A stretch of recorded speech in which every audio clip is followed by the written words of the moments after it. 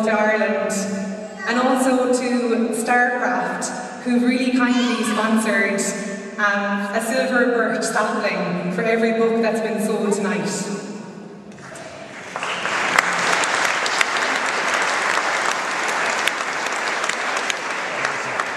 So a couple of quick housekeeping bits before we get started.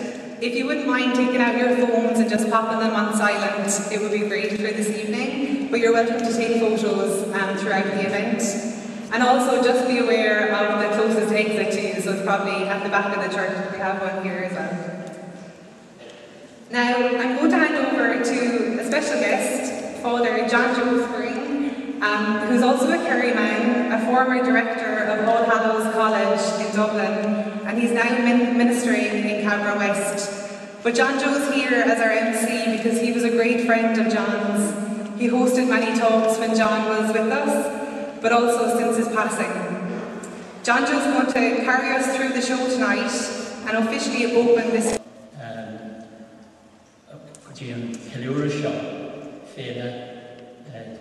John Moriarty, Féle John, uh, a sailor agus a héir. agus go háirithe a bheith ábata dhéanamh an seo ina á dúgus fé. Ladies and gentlemen, friends, um, disciples maybe we say of, of John Moriarty, it's a great pleasure and privilege for me uh, to just uh, introduce our, our gathering here this evening. Um, it's a great privilege to be able to celebrate the life and legacy of John here in his native. Thanks to Amanda and Mary, I suppose, first of all, for the opportunity and, um, and the huge amount of um, organisation that has obviously been put into this event this evening.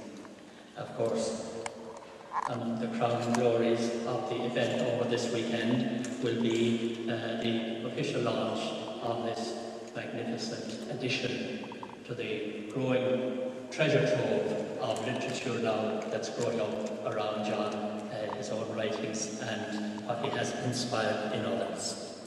There'll be more about that obviously later, but I have no doubt the relationship with John the first uh, takes me back to uh, the time when I returned after 15 years working as a, a priest in, in, in England uh, and then coming back to work in the staff in All Hallows College in Dublin early 1990s. And um, one of the areas of responsibility I was given at that time in All Hallows was uh, to be part of a team organising uh, uh, ongoing education events, things like summer schools, uh, spring series of spring talks and autumn talks and so on. One of my colleagues uh, said to me casually one day, he said, there's a guy giving a talk down in Trinity tonight, he's a Kerry man, and I don't know much about him myself, uh, but they say he might be worth listening to. So I know the prospect of uh, from one Kerry man to another, a Kerry man going to listen to another Kerry man speaking at Trinity College, how could I resist? Uh, so I went along anyway. And it was at the time, I suppose, John was, was kind of early doing the circuit. He'd be mostly doing his talks and stuff down in the west of Ireland at, uh, at that stage. I'm six years his so I'm not qualified really to talk about John when he was in school. Because in the national school, the local school here in Moyvane, I was gone on before John came to school.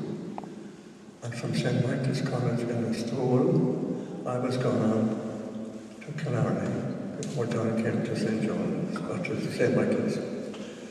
So I can talk about John when he came back from Manitoba, when he decided to return from his lecturing in the uh, corridors of power of learning to discover his bush soul in Moyvane. And I remember he gave a lecture in the store soon after he came back, and he was beginning to be discovered as a new voice on the airwaves of Ireland.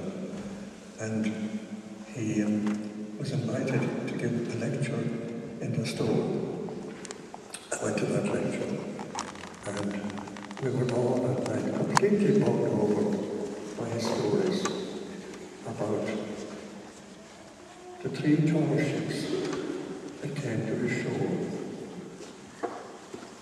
And the three tall ships were three books that he got from his neighbour, Jamie Cassan. Jamie was a dear neighbour of John's who visited his house every night and told stories. But he brought with him, well, on one occasion, maybe two or three occasions, he brought books with him that he had read. Even though Jamie was a small farmer, he didn't farm very much. He read books. And he gave some of those books to John. And there were the three he mentions of the three tall ships who came to his shore were Darwin, Freud, and Einstein.